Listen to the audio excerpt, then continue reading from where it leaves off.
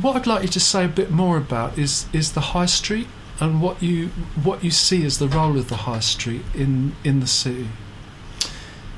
Well, anecdotally, I remember moving to Exeter, which is I think a city of about 120,000, and on the second day of my living, me living in Exeter, which was also my arrival in the UK about 10 years ago, I was walking up the high street and I was already recognizing faces that I hadn't that I'd seen the day before, which like in a city of comparable size, Esslingen near Stuttgart, 90,000 people. I spend a lot of time there. Um, that would be virtually unthinkable that you would encounter. It would have to be a real, real chance encounter that you see the same person twice in two days, because the the layout of the city is different. There there squares and more con- concentric design, whereas on the high street you have virtually all the traffic funneled through a linear sort of on a linear axis, isn't it? And so I found that quite striking. I thought, blimey, this is a, it's got a, it's not a huge city Exeter, but it's sizable. I kind of recognized two, three, four faces on the second day I'm coming. I've seen this person, I've seen that person, the- you know. and they were not buskers or people who would play their thing every day. They were just people, you know. I just recognized the faces And it- but- because I'm but- good with faces anyway. So right.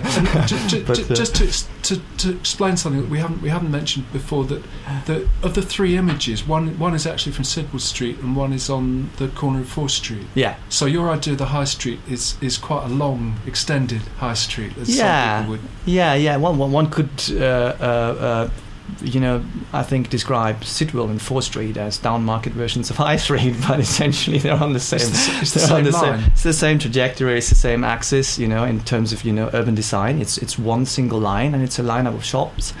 And it's a business mile, and it's one. It's really. I mean, I, I see this as one thing, so I didn't have a problem including Sidwell Street, and the actual core of High Street, which is you know big corporate chains, stores and bank, and then some small independent retailers at the bottom. It's quite a nice portraiture of you know what the city is like at the moment.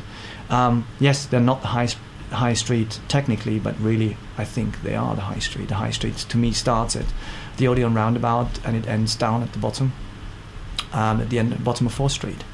So I've included these parts of it. So you don't think the the city walls or the medieval model, which must be there somewhere, that that, that doesn't seem strong to you. Well, let's put it that way. The the concept of the high street was new to me when I moved to to this country.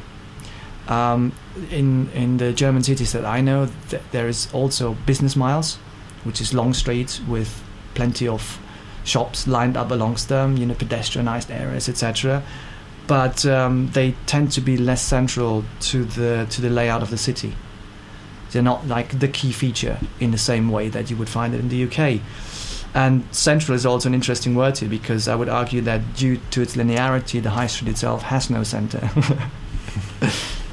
in Exeter, there's the Cathedral Green, which is a centre, obviously.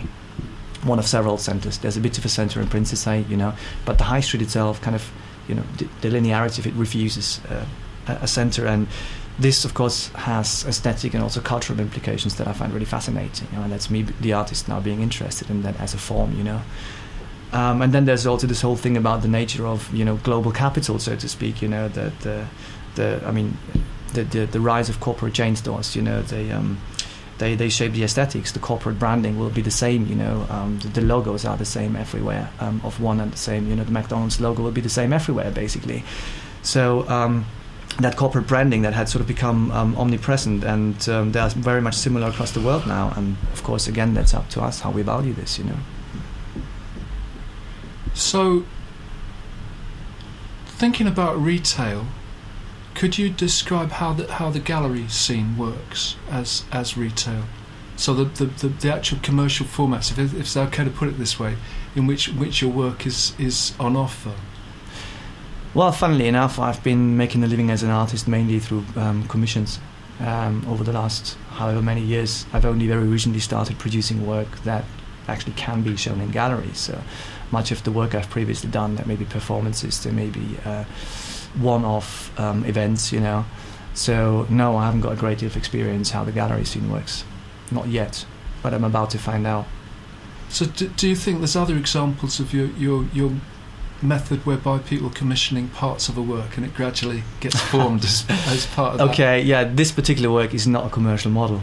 I mean, I'd be, you know, I'd be in a dire place, you know, if I tried to make a living like that. This is about inclusion, you know. The pricing is about inclusion, you know. Let's take a two pound fifty size commission. You know, I'll spend almost an hour, you know, uh, printing, posting, and packaging it. That, you know, that doesn't even include the materials. So no, this is not a business model.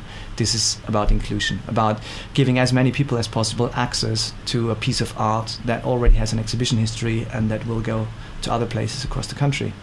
So yeah. Okay. Uh, I think it's a worthwhile cause. I've been listening and not chipping in, and I think it's very good. And I even went over and had a look this morning. I thought it depicted the hustle and bustle very well. I grant I only saw one bit of it. Uh, um. Uh, oh, sorry. I That's just all right, thought Chris. No, I'd no, I think I think it's good for you. Good for you to comment. And I'm glad you went and had a look. And um, I think JD will come back. He's in. He's in another room. He's checking out our computers at the moment. But I know he's been a, a few times now. And um, well, we're probably like like the other people who've, who've commented that it, it makes more sense as more of the images are clear.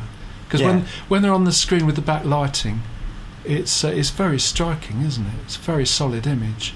You can't you can't really get an idea of it just from the woodcuts from and imagining how it's going to be.